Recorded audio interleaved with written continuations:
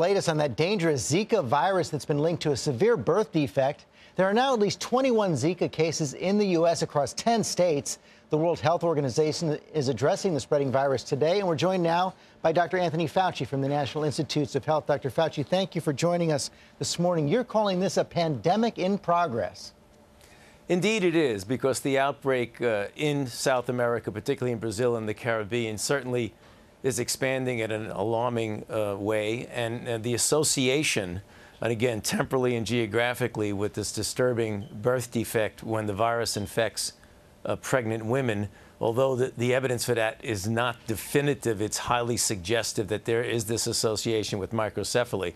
So you have two things. You have a brand new pandemic in progress and evolving in the Western Hemisphere at the same time that you're seeing these disturbing uh, sequelae in pregnancy of infants who are born with this very, very difficult uh, spreading, uh, disability. Yeah. Spreading here in the U.S. as well, 10 states right now. How severe is the threat to pregnant women here? Well, we're going to see people who visit the uh, areas, the regions in South America and in the Caribbean who will come back to the United States and be ill having been bitten by mosquitoes in the region. That's a big difference than people who are spreading the virus locally in the United States.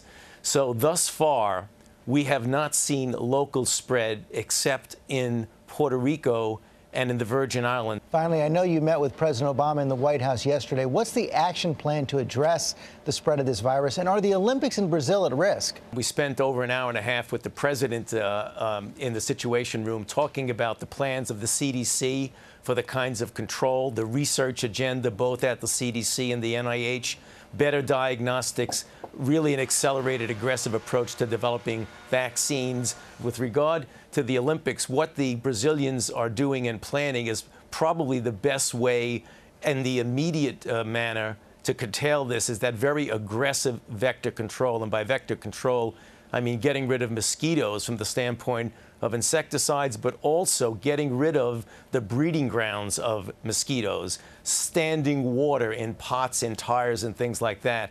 And the Brazilian government is taking a very aggressive approach to do that. Dr. Fauci, thanks very much for your time this morning. Good to be with you. This is so serious, and all of you can get the latest on the Zika virus on our site, goodmorningamerica.com on Yahoo.